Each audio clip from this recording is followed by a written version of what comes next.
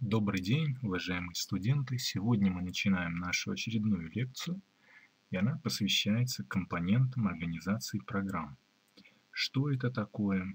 Какие виды компонентов бывает, мы рассмотрим на данной лекции. Итак, компоненты организации программ ПЛК. Под компонентами организации программ э, в английской аббревиатуре их называют POU, это Program Organization Unit. Под ними понимают структуры, из которых состоят проекты или программы, прикладные программы программируемых логических контроллеров. Непосредственно это то, из чего состоит прикладная программа любого э, логического контроллера. В соответствии с стандартом э, компоненты делятся на три типа. Первый тип – это программы. Второй тип – это функциональные блоки. И третий тип – это функции. Ну вот, на следующей картинке мы видим, из чего состоит конфигурация PLK. А, в каждом конфигурационном файле, да, так сказать, в каждой конфигурации PLK а, имеются ресурсы, как мы видим вот из таблички. И в каждом ресурсе есть хотя бы одна задача. И эта задача обязательно должна выполнять какую-то программу, хотя бы одну программу. А каждая программа, в свою очередь, если программ несколько, допустим, или другая программа, она может состоять из э, любого количества функциональных блоков и э, функций. Если задач несколько, то речь идет о так называемой многозадачности ПЛК. Вот таким вот образом состоят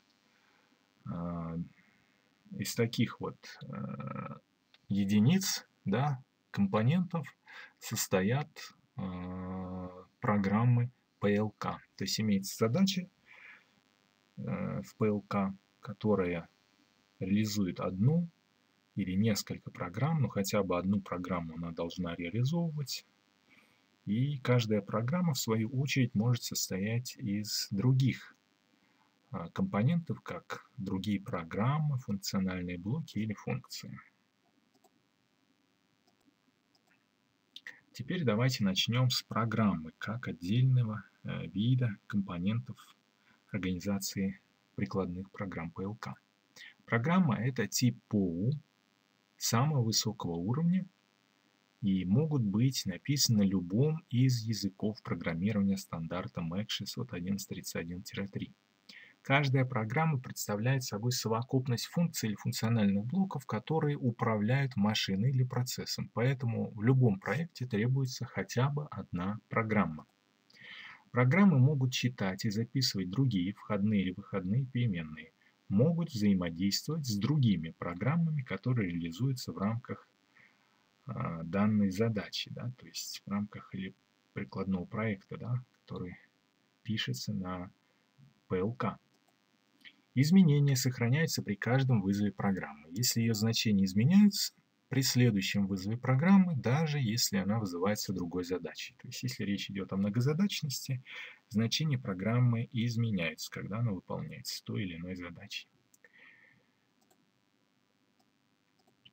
Ну, пример выполнения программы мы видим, видим вот на следующих картинках. У нас имеется набор пул или компонентов, из которых состоят наши прикладные программы, да, и каждая из них э, в скобочках вот подписан пол, тип пол, то есть PRG означает программа, то есть программа начинает всегда с ключевого слова program, а затем название самой программы. И внутри здесь, конечно, уже пишется тело программы, текст, из чего она состоит. И, соответственно, при э, написании какой-то прикладной э, программы их может быть несколько.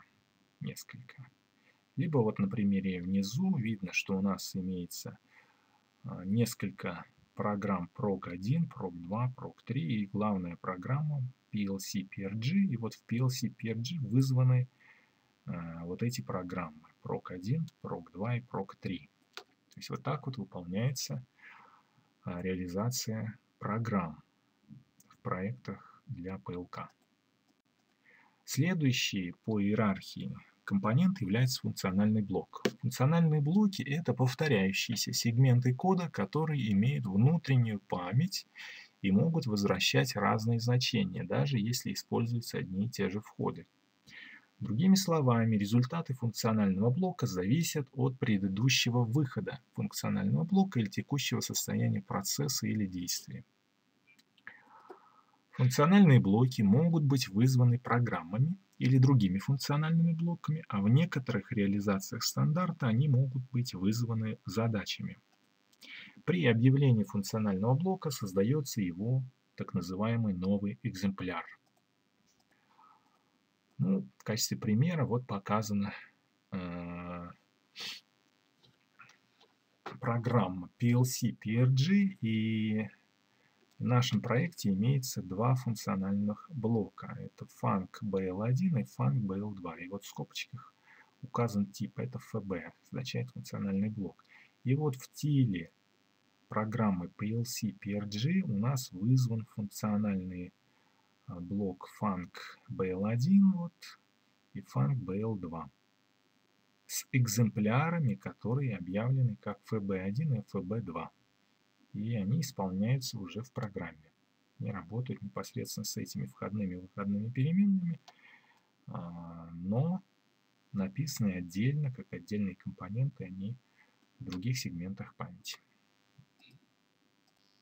Функция – это третий тип программных компонентов, Функцию можно рассматривать как подпрограмму, часто это какое-то уравнение простое, без внутренней памяти, поэтому оно, то есть она, функция, возвращает только значение, а не результат. Это означает, что каждый раз, когда функция выполняется, если используется один и тот же ввод, возвращается одно и то же значение, независимо от того, сколько раз функция используется. И пример. Мы видим, что у нас есть функция, которая начинается ключевым словом function, имя функции и обязательно указывается через двоеточие тип функции.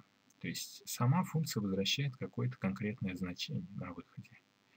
У нее имеются входные интерфейсные переменные x, y и локальные переменные, которые используются внутри функции. Да, вот такой вот полином реализует функция, допустим, и сама же возвращает вот значение этого полинома в своем имени. И вот эта вот функция function1, как мы видим, вот она, она используется в программе PLC PRG. Вот в виде вот такого отдельного блока. Так выполняется а, функция в прикладных программах PLK. Ну, из следующей картинки мы видим иерархию да, а, программных компонентов. Э, обязательно э, наша PLK, то есть контроллер, должен выполнять хотя бы одну какую-то конкретную задачу. А, эта задача направлена на исполнение какой-то программы. Программа должна быть хотя бы одна, но может быть несколько программ. Далее, в программе могут быть реализованы отдельные функциональные блоки, либо функции, но и сами функциональные блоки также могут состоять из других функциональных блоков и функций, как мы видим из данной картинки. Интерфейс компонентов а, в POU или компонентах программной организации обмен информацией происходит через переменные, называемые переменными взаимного интерфейса. Их виды представлены в таблице ниже. То есть для каждой а, для каждого компонента, будь то функция, функциональный блок или программа, а, связь с другими внешними программными компонентами осуществляется через специальные интерфейсные переменные, которые э, объявляются меж ключевых слов. var input – это для входных переменных связей, которые устанавливают связь да, для функций с внешним миром, с другими программными компонентами. И если э, для функции, вот, кстати, var output, такого понятия нет, как мы видим, потому что функция возвращает свое значение через свое имя, как мы сказали. А вот для функциональных блоков имеются как входные переменные интерфейсные, так и выходные. Также могут быть использоваться одновременно.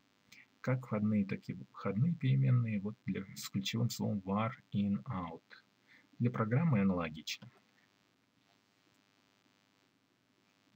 Ну и также внутри функций, функциональных блоков и программ могут быть использоваться другие локальные Э, переменные, не интерфейсные, как мы видим, которые будут внутри, недоступны а, для взаимодействия с внешними а, типами других программных компонентов.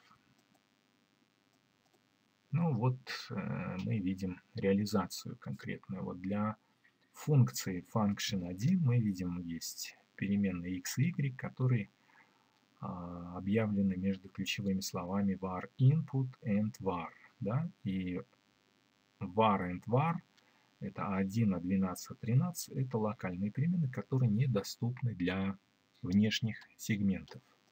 Как это вызывается в других программах? Да, мы видим, что объявили функцию function11, и у нее есть две входные переменные, а само значение function1 возвращает через свое имя, как мы видим.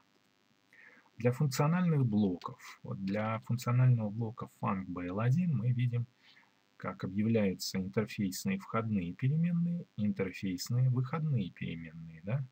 Они используются в самом теле программы, и при объявлении э, функционального блока funcBL1 через ее, его отдельный экземпляр, мы видим, что вот эти Э, переменные, которые были объявлены var input, это x1, x2. Они вот используются для связи с другими внешними переменными в программе. И y1 и y2, как var output, используются для записи результатов в э, некоторые другие внешние переменные.